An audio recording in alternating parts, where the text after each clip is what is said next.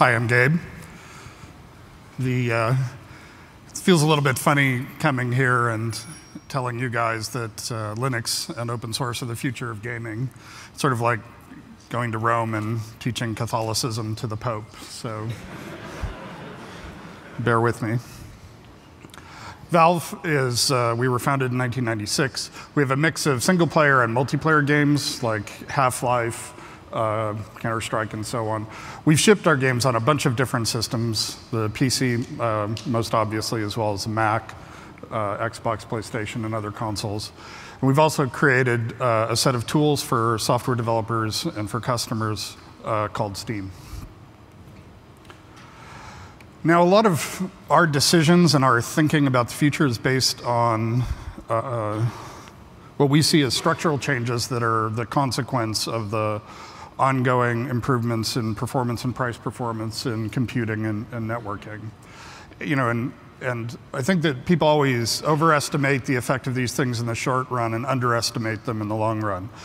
One of the key decisions we made when we were first starting the company was the realization that as we continued to reap the benefits of those kinds of performance improvements, that the relative value of different line of business functions would change. That uh, sales and marketing and distribution would be uh, cheaper and easier, and that meant that the, you know, the design and development of products were going to become more valuable. And a lot of times you'll see corporate structures that uh, struggle to keep up with that pace of change. But it's not just in how corporations should be run that those changes end up being propagated. Uh, it has implications throughout my industry, throughout the gaming industry. You'll see it in things like the emergence of digital distribution platforms like our own Steam, uh, but you also see it in, in, ways that are kind of surprising. For example, we reached a point a couple of years ago where the marginal costs of having a, a, another player were less than the marginal community benefits of having somebody be in that, in that audience or participating in that com community. And that gave rise to what it sound, at first sounded a little bit perverse, the, the free-to-play style of, of games. And you also see other phenomena start to occur. So You'll see things like Twitch TV coming along or esports, where, you know, in order to have a model that encompasses the value that people get out of it, you have to think about the novel ways that content creators and experiencers are going to be generated. You know, and at the last tournament we held, we had over a million people uh, watching it simultaneously. That was between uh, a Swedish team and a Russian-Ukrainian team. Now, these structural, you know, just because, you know, of course, right now Valve is fairly successful, so it would be nice if the world just stopped right here because this is a point in time when we're doing well. But the process is actually going to continue to go on. In the same way we've seen sort of the center of gravity of gaming moving from sort of console hardware platforms you know, into, into developers and services, we're going to see, we think that process is going to continue. Uh, and that it's really the, the users that are going to be the, the focus of optimal strategies, uh, both from a technical point of view and from a market development perspective. And to sort of skip a four or five hour long presentation, the conclusion that we reached is that games are essentially going to be nodes in a connected economy where the vast majority of digital uh, goods and services are going to be user created rather than created by, by companies. So let's take a step back and just talk about Valve's own experiences uh, with Linux. Um, in 1999, we shipped our, our first uh, game server uh, for Linux. And since then, it's pretty much been the majority uh, of the server, game servers that have been out there. And that means, you know, around the world, there's actually probably over a million game servers uh, out there right now running. Uh, you know, we not only have used uh, Linux in terms of deploying a, a service footprint, but we also, you know, we just use it internally. So we've got all of our source code, all of our uh, models, all of our animations, all of the assets are all being run uh, on top of Linux. You know, we go a year, you know, we're, we love the performance, we love the reliability and robustness of it. Um, one thing that tends to shock people sort of especially in the traditional media worlds, is just how big uh, games have become. Um, when we do a, a, new update for something like Dota 2, near as we can tell, that, uh, that we're generating about 2 to 3% of the worldwide uh, mobile and, and land-based IP traffic. Uh, and that tends to startle people who don't realize what, what a large sea change has been going on. Now, our experiences, we think, are fairly typical of lots of people in the games industry. So if you go to, you know, Blizzard or uh, Bungie or any of the other game companies, you're going to find that in terms of building out a service provision, in terms of running their own operations, they're all super comfortable uh, and have a lot of experience running with Linux. On the other hand, as we all know, the, uh, the, user experience of being a gamer trying to play on top of Linux has been pretty painful. Uh, just you know, any metric that you use, if you're just looking at how many players there are, how, how much time they spend playing, uh, how much revenue they're generating for game developers, it's, it's, it's very small, typically, like I say, under 1%. Uh, and that's way too small to ever get any attention in terms of you know, making sure uh, you're compatible with device drivers or distros or uh, thinking about how to improve that experience uh, and so on. However, what we became convinced of is that Linux really is the future of gaming.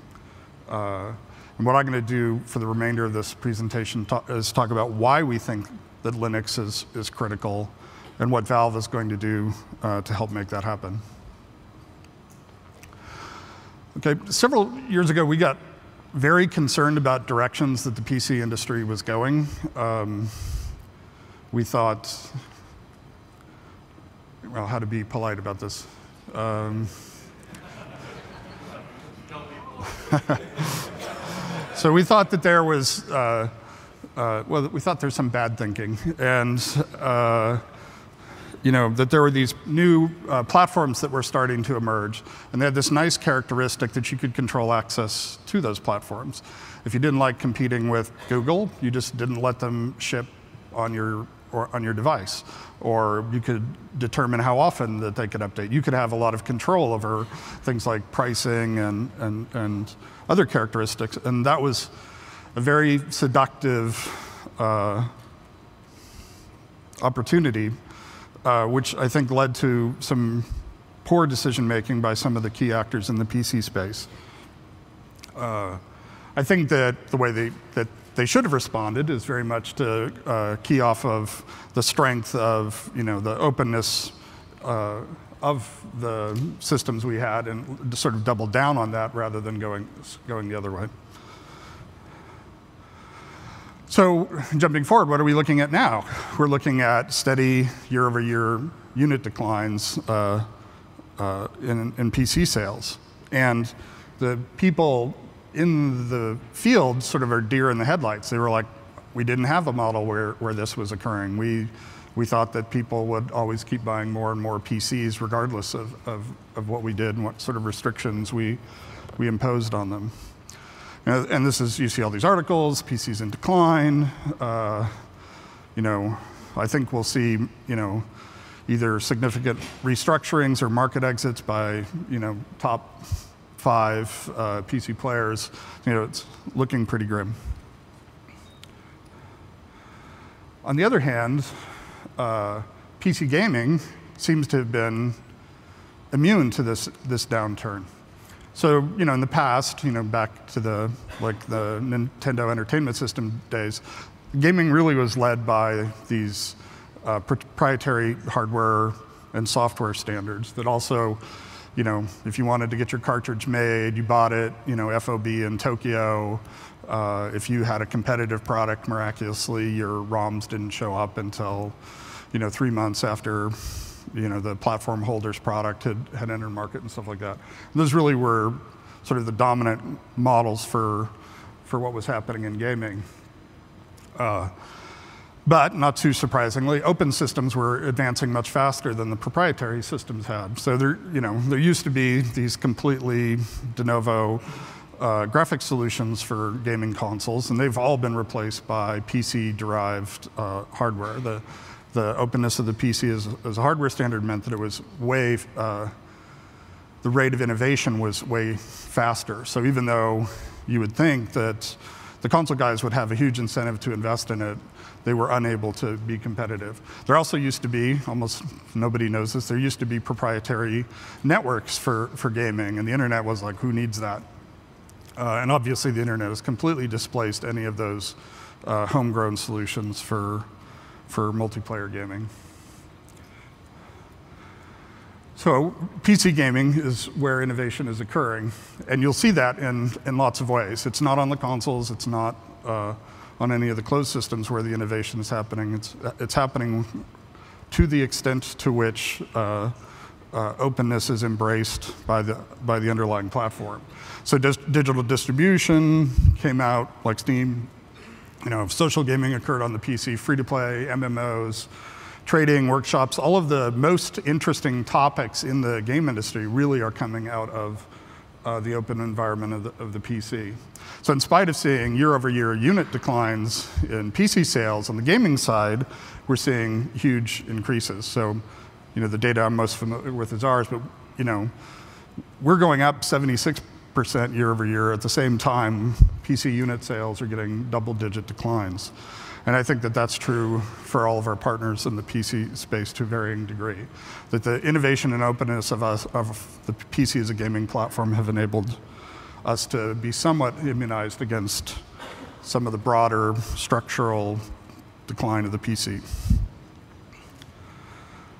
We also think that uh, the rate of change is increasing, that we're not really going to be slowing down. And so that systems which are innovation friendly, that are, which is equivalent to openness, are going to have greater and greater competitive advantage to closed or tightly regulated systems. Um, we actually think that uh, we're going to see a significant sort of democratization in the content creation process. Uh, users will be, you know, the, the distinction between a, a, content creator and a content consumer will get blurrier uh, and blurrier. And just to be really concrete about that, so Valve, Valve, we're kind of a cocky company, and we like to think we can compete with, with any company in the world, right? So, you know, if we sat down and said, oh, let's have a competition with Bungie or, or Epic or, you know, Blizzard, we're friends with all these guys, by the way, we'd feel like, oh yeah, we can, we can take them. We're, we're, we can, we're, we're, we're good at what we do.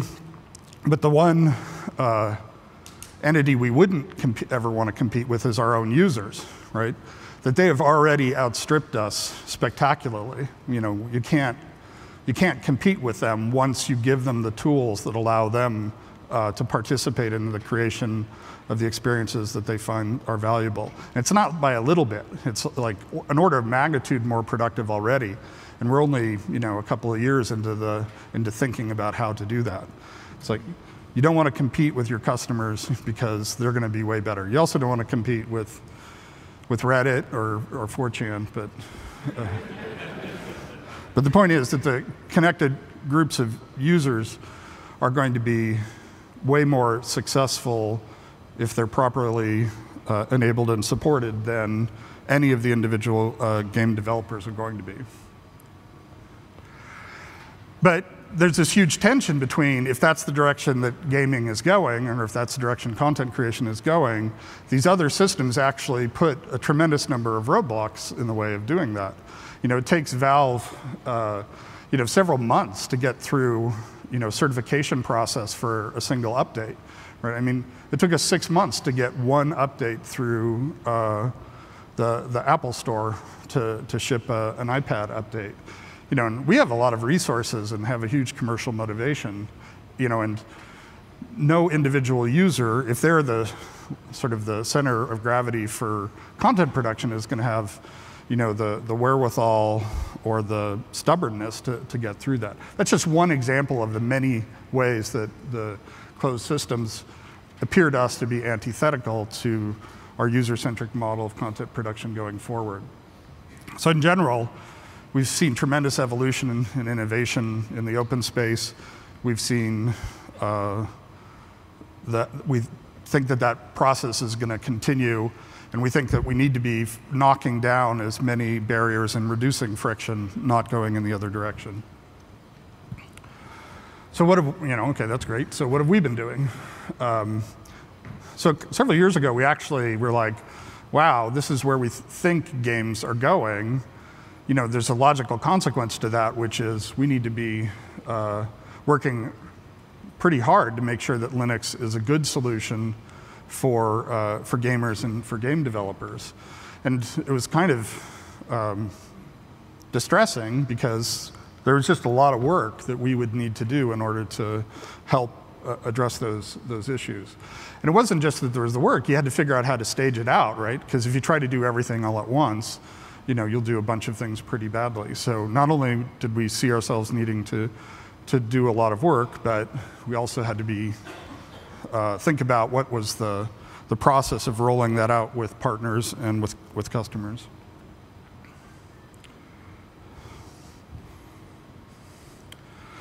So the first step was to get a game running on Linux. Uh, and we use that, you know, like developers do, as kind of a sweater thread of issues. Like, so we're going through and it's like, oh my God, it's incredibly slow.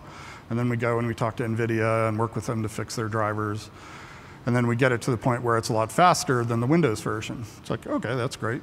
And then you find, well, the user experience is impossible. You know, it's like, you know, how do you do updates? Well, you know, here's a super long, well, just compile it yourself. And you're like, oh, well, it's not a good solution for your average user. So there's just, uh, by you know, going through that exercise of getting one game up, uh, you know, you have to do a lot of different things. Then the, the value of that, we were, you know, you're sort of optimistic going into it that if you solve a set of problems for one game, you're going to solve it for a bunch of others. And that, that definitely appears to have been true, that if you get, you know, the kind of game that we produce all, you know, create a good user experience around that, that you probably, you know, we've definitely solved problems for, you know, the Call of Duty team or, uh, you know, uh, Unreal Tournament or whatever. It's, the games aren't that much different. The key thing is to, to get it uh, uh all the way through to uh, customers. So then in this February this year, we shipped um, a Steam client uh, for Linux. And as much as anything, that was a, a, signal to our development partners that we really were serious about this Linux thing that we were talking with them about. And now today we have 198, at least when I got on the plane, we had 198 games that were running on, on Linux. So, you know, being a, helping make Linux successful also involves a bunch of other things, as you all know. Uh, we have engineers who work on SDL, which was an open source project started by another Valve employee, Sam Malintinga. We're a contributing member of the Khronos group. Um, one thing I don't think we've talked about is we're actually developing, co-developing a uh, Linux debugger. That's in addition, in addition to uh, the work we've been doing uh, with uh, the LLVM people. Um, so when we go out and talk to developers and say, okay, you know, if you can pick one thing for Valve to work on on the tools side to help make a Linux a better development uh, target for you, what would it be? And they always were coming back and telling us to, to work that we should build a debugger. So we're working with uh, another company on, on building a Linux debugger. But these are useful things to do to help move uh, things forward on the on the developer side.